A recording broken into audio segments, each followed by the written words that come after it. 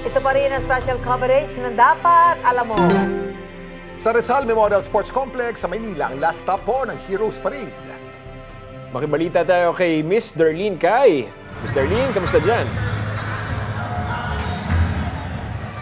Berlin, Ito, Kuya Kim, sa ano na to? Kuya Kim Susan, nandito ako sa Rizal Memorial Sports Coliseum at anumang oras nga ay darating na ang ating mga Olympians at ating mga atleta dito nga sa Coliseum at excited na excited na dito yung mga estudyante, ilang guro at i- at yung mga members of the general public at o mga Manila residents at hinihintay na nila na dumating dito si Carlos Yulo at ang iba pa nating Filipino athletes na kumatawan sa atin sa katatapos lang na 2024 Paris Olympics. Ang kunento sa atin, yung mangyayari dito ay parang magiging short ah, na ceremony lamang. Kumbaga, ire-receive lang ng Manila LGU officials sa pangunguna nga ni Manila Mayor Honey Lacuna at iba pang ah, Manila LGU officials. Ibabatiin nila yung mga athletes at magkakaroon lang ng maikling ah, pagbati para sa kanila tapos eh matatapos na rin yung program dito nga sa Coliseum kasi gusto daw i-prioritize yung pagpapahinga nila dahil kasi a long day for them. Sobrang packed ng kanilang schedule.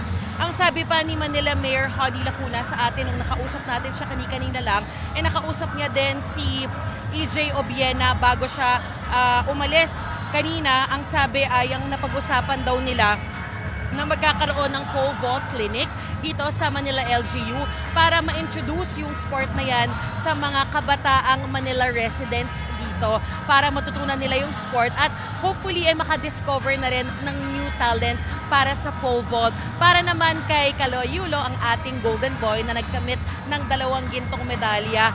Monday, 9 a.m., magkikita sila ni Manila Mayor Honey Lacuna at doon ay gagawaran siya ng parangal at pati na rin 1 million pesos mula sa Manila LGU para sa bawat gintong medalya niya. So 2 million pesos or at least 2 million pesos yung ma-receive niya mula naman dito sa Manila LGU. Kanina, ang ginawa dito ay ah, nag-practice sila ng mga cheer. Ngayon, ah, mukhang magsisimula na yung programa dahil anumang minuto ay makakarating na dito, makakapasok na ang Filipino athletes. Balik sa inyo dyan, Kuya Kim at Susan. Ayan. sa Lima. Yeah. Da- da- si Darlene. Ah, Darlene, sorry, Darlene. Ah, Darlene. Darlene, ah, medyo punong-puno itong ah, auditorium, ano? So, ang composition ng mga tao dyan na nanonood, karamihan ay mga kapitbahay, mga sa publiko, mga estudyante.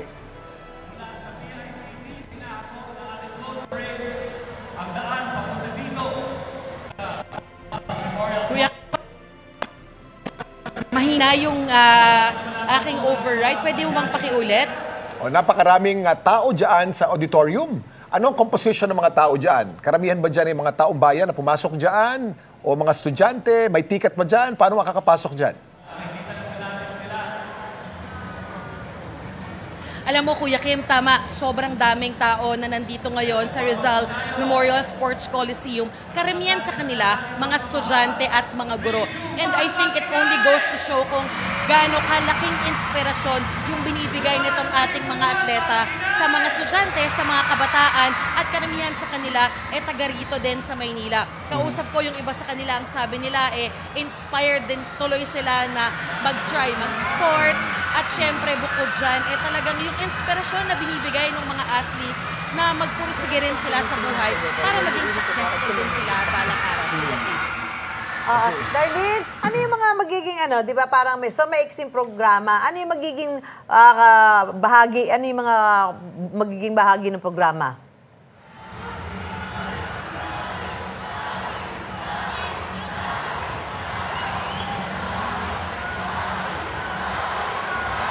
Lalo lumakas ang ano eh, nag- nag-cheer yung mga... Susan, Ano? ah, mukhang naputol yata yung linya ko. Ah, hindi ko na narinig yung kasunod na ah, sinabi mo. Pero ngayon, ah, nag-start ng magsalita yung host at mukhang anytime e papasok na nga po dito yung ating athletes na nanggaling lang doon sa kanilang Heroes Grand Welcome Parade na nagsimula po yan sa Aliu Theater at dito na magtatapos sa Rizal Memorial Sports Coliseum.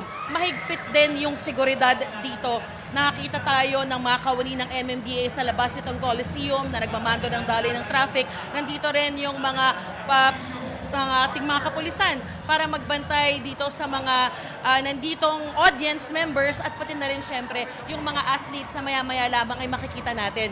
Ang sabi sa atin ni Manila Mayor Honey Lacuna, they initially wanted ah, na meron sanang programa, merong mga mag-perform, kaya lang ginawa na lang din nila kanina kasi gusto nila na i-prioritize na makapagpahinga na yung mga athletes dahil kanina pa nga sila nag... um, kanina pa sila nagsimula nung kanilang day masyado nang ah, packed yung kanilang schedule. Okay, I maraming think what we're seeing now is yung live situation na ang bago kasi makapasok dito sa Sports Coliseum, yung mga athletes, ang huling daraanan nila ay doon sa may bahagi ng Adriatico. Diyan po lumaki ang ating golden boy na si Carlos Yulo. Kaya ang initial plan at kung matutuloy, eh medyo titigil dyan sa part na yan para at least mabigyan siya ng pagkakataon na batiin yung kanyang mga kapitbahay at batiin din yung ilang kaanak niya na possible na naghihintay dyan sa part na yan. Ang sabi sa atin ni MMDA, um, Chairman Don Ortes, parang magsisilbi siyang homecoming para dito kay Carlos Yulo. Maraming salamat, Darlene Kai.